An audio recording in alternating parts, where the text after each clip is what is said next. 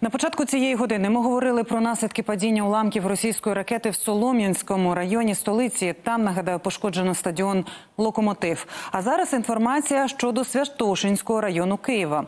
Нині там працюють вибухотехніки у дворі. Просто серед будинків знайшли уламок ракети з бойовою частиною, яка не вибухнула. Маємо змогу дізнатися усі деталі від моєї колеги Ярини Марків. Ярино, вітаю тобі словом. Привіт, колего. Так, ми знаходимося у Святошинському районі. Наскільки відомо, загалом тут е, було зафіксовано е, влучання уламків ракет на кількох локаціях. От позаду мене власне знаходиться п'ятиповерхівка. Ми бачимо, що вона е, в сажі на третьому поверсі, як сказали місцеві жителі, застряг уламок нездетонованої бойової частини ракети, який вже хочу сказати, що вилучили сапери. Також уламки ракети впали на подвір'я, і щонайменше дві автівки згоріли. Власне, хочу сказати, що сапери тут працювали упродовж всього ранку. На цей час людей евакуювали із будинків, із цієї п'ятиповерхівки і тієї, що знаходиться поруч. Е, Їм, е, якщо було потрібно, надали першу домедичну допомогу. Також тут був е, розгорнутий намет загону швидкого реагування товариства Червоного Христа. Людей поїли чаєм. Також були два автобуси, де люди могли зігрітися. Ну і власне на даний час вже всі вони повернулися додому. Як бачимо, комунальники зараз займаються тут розчисткою території. Е, Ну і яким видався для мешканців цих будинків е, сьогоднішній ранок, прошу послухати. Як почало бомбити, я вийшла в коридор і сіла в коридорі, сиділа. Сиділа.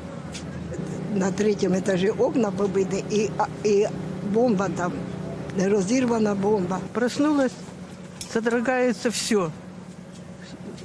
Гул такой, ну, ну, падение чего-то, что, ну, страшно. Горит все, полыхает пламенем под домом все, и машины, и все. Боже мой. А в четвертом подъезде вода просто идет вниз. Видно, трубы прорвало. Наразі нам відомо про те, що е, безпосередньо поранених від е, м, при- прильоту немає. Е, Є люди е, маломобільні, які м, декілька будинків евакуювали повністю. Маломобільні люди, яким важко самостійно пересуватись, е, їм було надано допомогу. Також додам, як нам розказали пізніше, ще один чоловік зламав руку під час евакуації. Його каретою швидкою було доставлено до медзакладу. Ну і за останніми даними МВС, внаслідок е, ранкової е, атаки на столицю е, зафіксовано 21 постраждалого. Серед них є діти. А також одна жінка зараз знаходиться в стані клінічної смерті. І так вона зі Святошинського району. У мене все, Ірино. Дякую тобі за роботу, Ярина. Це була Ярина Марків, наша кореспондентка про наслідки ранкової ракетної атаки у Святошинському районі столиці.